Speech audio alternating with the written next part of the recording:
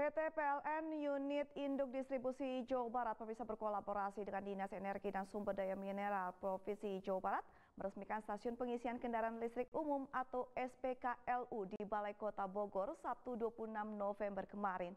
Kehadiran SPKLU di Balai Kota Bogor disambut baik oleh Wali Kota Bogor Bima Arya dan berharap penggunaan kendaraan listrik akan semakin meningkat.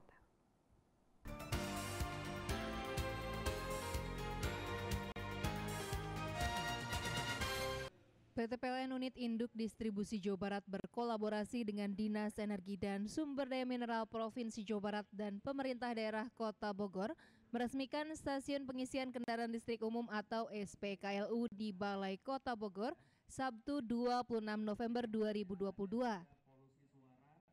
Keberadaan SPKLU di Balai Kota Bogor ini merupakan SPKLU ke-110 di Jawa Barat. Sebelumnya sebanyak 109 SPKLU telah terpasang dan tersebar di sejumlah titik seperti di kantor PLN Unit Layanan Pelanggan, Unit Pelaksana Pelayanan Pelanggan, Res Area, Istana Bogor, Gedung Sate, dan jalur lalu lintas Ciamis. General Manager PLN UID Jawa Barat Susiana Mutia menegaskan, dengan bertambahnya stasiun pengisian kendaraan listrik PAT membantu mempermudah para pengguna kendaraan listrik untuk mengisi daya serta menarik minat masyarakat untuk beralih menggunakan kendaraan listrik.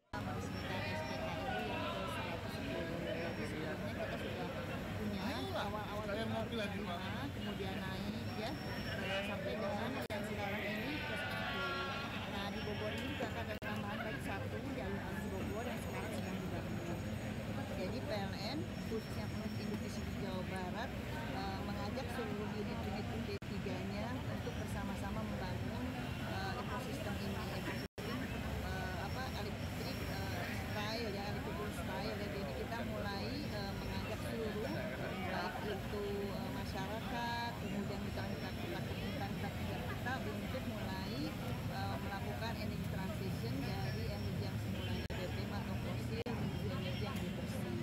PLN juga sudah punya Jabar Smile ya yang punya program mengajak seluruh mitra untuk bisa berkolaborasi membangun ekosistem ini. Salah satunya PLN juga sudah bermitra dengan penyedia-penyedia uh, electric vehicle ya, motor-motor listrik, kemudian juga mobil-mobil listrik untuk mulai bersama-sama menyiapkan uh, tantangannya yaitu SPKLU ini. Nanti ke depannya juga PLN sudah membangun SPKLU ya, jadi sistem stok baterai juga kita akan uh, akan masuk ke sana. Dan juga PLN juga membangun salah satunya berkolaborasi untuk uh, venture ya antara PLN dengan mitra-mitra untuk membangun nya di ke depannya. Nanti ke depannya akan di, di, di tahun depan dan 2024 ini kita akan bisa masuk sampai dengan 500 SPKLU yang bangun.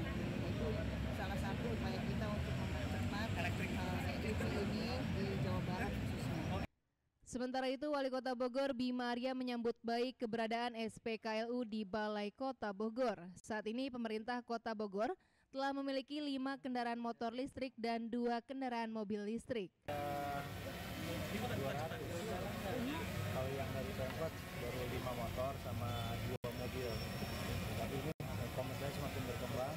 Kita uh, berterima kasih kalian telah bantu untuk membangun ini KLU nanti akan semakin banyak otomatis permintaan pasar akan semakin banyak kita lihat masyarakat mulai bergeser sudah mulai bergeser dan hari ini kita melakukan sosialisasi sekali ini pas ini mulus sekali enak gitu banyak juga yang sudah pakainya bertahun-tahun gitu. jadi saya optimis banyak yang akan melakukan konversi bisa menjual, membeli yang baru ataupun motor lama juga bisa dikonversi dengan biaya sekitar 7 juta tadi saya lihat. Selain infrastruktur, PLN pun menghadirkan berbagai program untuk memudahkan konsumen dalam menggunakan kendaraan listrik.